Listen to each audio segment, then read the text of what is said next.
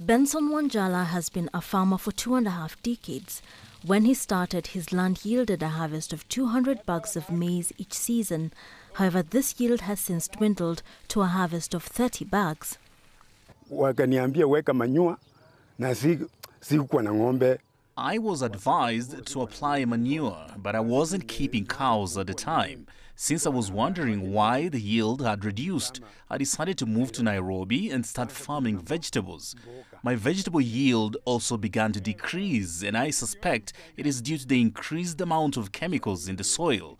I have no choice but to use fertilizers, as I need to make money to support my children.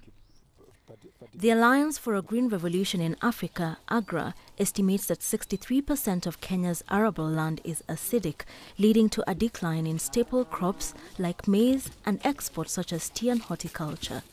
Priscilla Wakarera, a soil scientist, explains that many farmers double their fertilizer application if they experience low yields during a season. However, if the soil's pH is unfavorable, the existing minerals in the soil cannot be absorbed by the plants. Adding more fertilizers worsens the problem.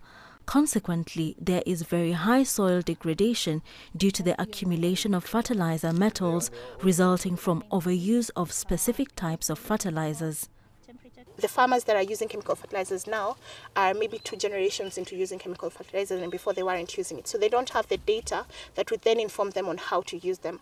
And who brings the chemical fertilizers? It's the companies that sell them. So their agenda is to push as much chemical fertilizers for sale.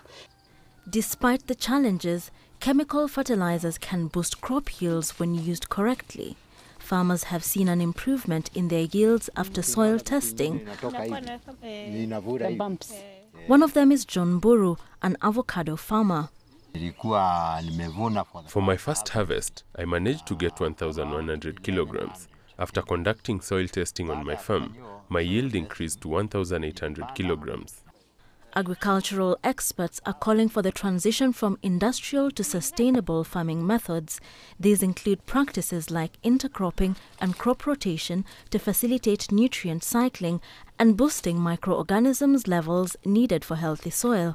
Sustainable agriculture takes time, but you can be able to see the long-term fruits of it. Uh, industrial agriculture is a quick fix, but it leaves you with a dead soil, it leaves you with a dead environment.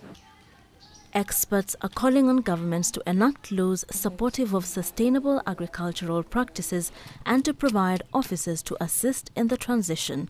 Wilkes Anyabwa, CGTN.